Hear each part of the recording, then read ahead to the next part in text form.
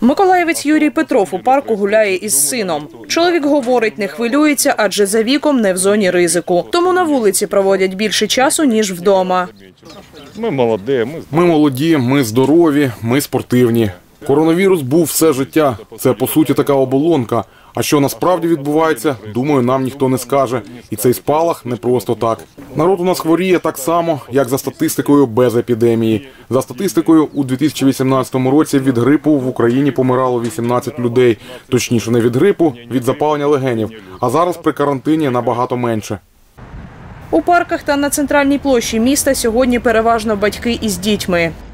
Я медицинский работник. Я Я медичний працівник, я сиджу вдома. Ось зараз нікого немає, ми маємо право вийти. Це рекомендують лікарі. В основному сиджу вдома. До супермаркету в крайніх випадках за їжею і все. Потрібно, аби всі дотримувались карантину. Тоді ми зможемо перебороти цю хворобу. Тому що якщо люди не дотримуватимуться, то не вийде нічого. Дитина до року, двоє дітей. Я не можу не виходити. Я виходжу один раз на день на годину до парку, і ми гуляємо не в 11, коли наша подружка гуляє, а по обіді, коли вже точно наших друзів тут не буде.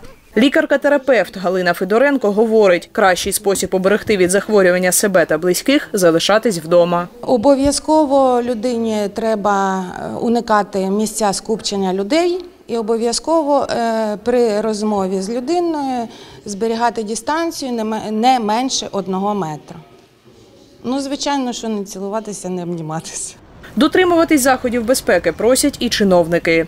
Ми можемо лише рекомендувати убезпечити себе, уникати можливості перебування в місці скупчення людей.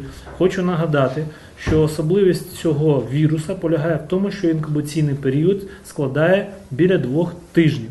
Це означає, що під, час захворювання людина може знаходитись е, вже під впливом вірусу, а також бути його розносчиком.